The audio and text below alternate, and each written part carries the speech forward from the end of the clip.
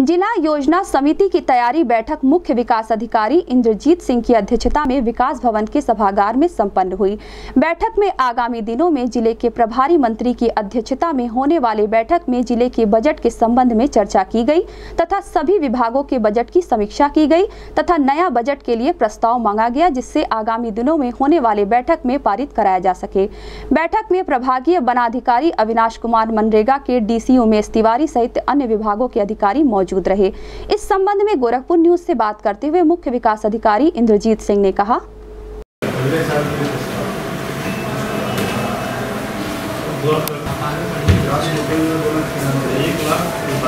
Forty percent इसका जो चौबीस लाख का फोर्टी परसेंट कन्वर्जेंस का नहीं कोई प्रोजेक्ट है इसके अलावा? नहीं। फिर माइक्रो न्यूट्रिएंट होता है। पेड़ी प्रबंधन होता है तो असल में ये फिटराइज टीम इनके पास सर पर्याप्त पैसा है जो है हाँ। वो खुद ही सारी चीज़ों में देते हैं जो है और सरप्लस हो जाता है तो वहाँ से सब हो जाता है तो एक ही आदमी को दो बार देना अच्छा है नहीं है कि सर ने बताया था कि इसमें मैक्सिमम आप ले सकते हो।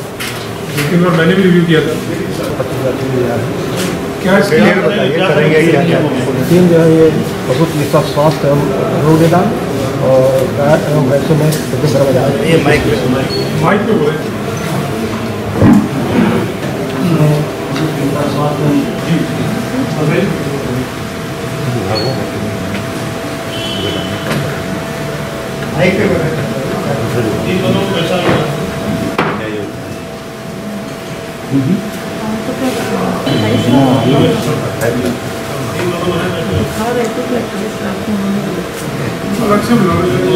इनका बहुत इम्पोर्टेंट काम है जो आपकी ये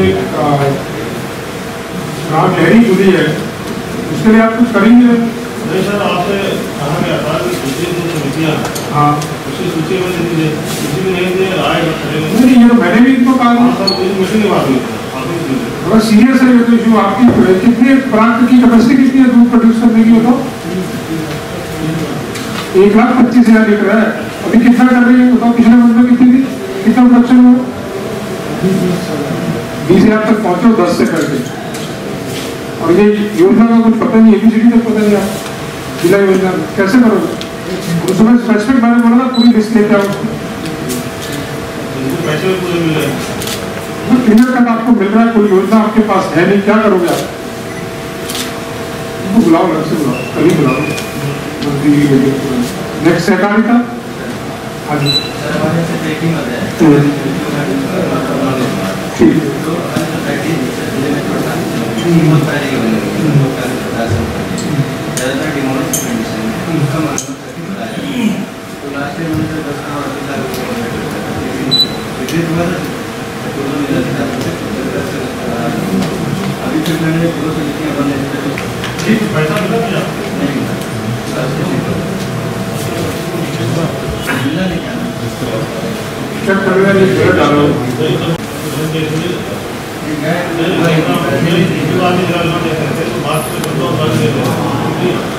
आपको बात का ही करना चाहिए क्योंकि ये किसानों में जाता है नोट करो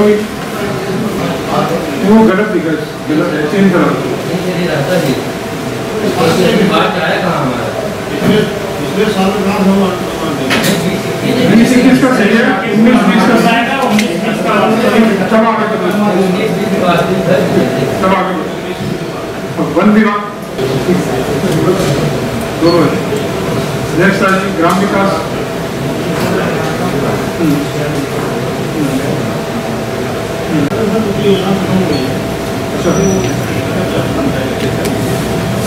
जिला योजना की जो बैठक की गई है, सारे विभागों को आज बुलाया गया था। माननीय जिला प्रभारी मंत्री जो हमारे हैं गोरखपुर के, वो सात मार्च को इसकी बैठक करेंगे। तो उससे पहले जो सारे विभागों को जो दिशा निर्देश दिए गए हैं कि जो ये जिला योजना में आपने प्रस्ताव देने हैं और जो बजट है उसको किस तरह से आप पेश करिए और कुछ विभागों ने आज दिए भी हैं। डीएम सर की अध्यक्षता में जब नेक्स्ट बैठक होगी तो उसमें हम पहले पास करके फिर माननीय मंत्री जी के सामने इसको पेश करेंगे और इसको पास किया